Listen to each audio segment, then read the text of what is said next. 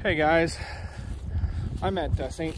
Ignatius Orthodox Church Cemetery in Franklin, uh, Tennessee. That's uh, Williamson County.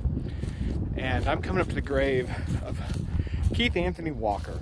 He was born June 29, 1935, passed away at the age of 61, December 30th, 1996.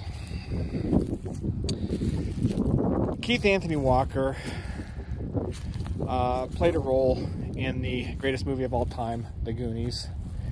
He was uh, Irvin Walsh, the uh, Irving Walsh, the uh, father of Mikey and Brand Walsh. Um, so he was the dad in the movie.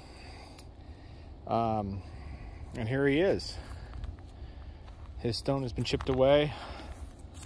Hopefully that's just mower damage and not somebody chipping away pieces of it for themselves. U.S. Army veteran in Korea. I'll blow up here a little closer here so you can see the cross. Keith Anthony Walker. So a little bit more about Keith Anthony Walker besides the uh, the role of Mikey and Brand's dad in the Goonies. He uh, he was uh, the screen. He did the screenplay and created characters of Willie and Jesse in the film Free Willy, and he helped direct uh, uh, he helped in the writing of the two sequels. Um, he died right before the release of Free Willy 3. He got the idea for Free Willy when he was filming the Goonies, actually. And uh, just, you know, the, the ocean there and the, view. And he ended up uh, uh writing the screenplay. And it took like nine years to get made. But, uh, you know, I know him from, uh, from the Goonies. just, you know, like I said, the greatest movie of all time playing the dad. He was at the flagpole at the beginning of the movie, and the boys rode by on the bikes. And then we saw him again at the end of the movie um, when he was getting ready to sign the papers that uh, Troy's dad was making him sign to sell his house. Um, but just a just an amazing, amazing movie and a great actor, great film scene he he put together, and uh, this is his final resting place.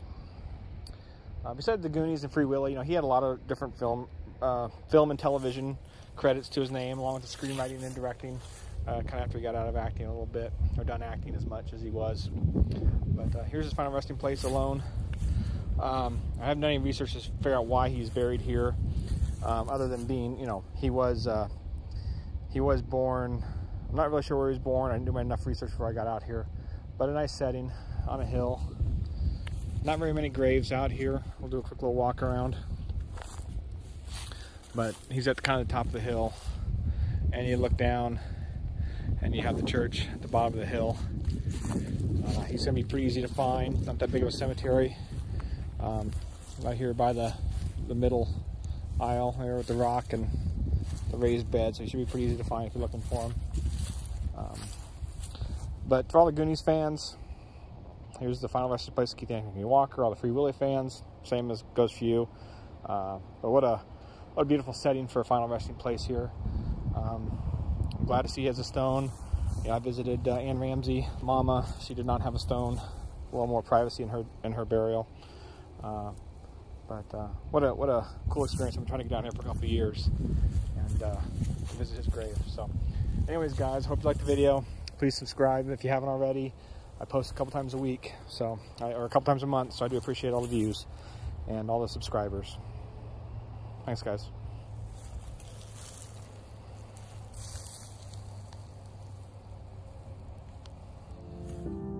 Hey guys, thanks for watching the video. Hope you enjoyed it. I post four or five times a month, usually just cemetery videos, uh, the Goonies content, as well as just my travels, exploring, etc. So uh, if you take a few seconds and just uh, hit that little subscribe button, that would be great, uh, so you don't miss anything coming up. And in the meantime, here's a few more uh, fun videos I think you'll enjoy.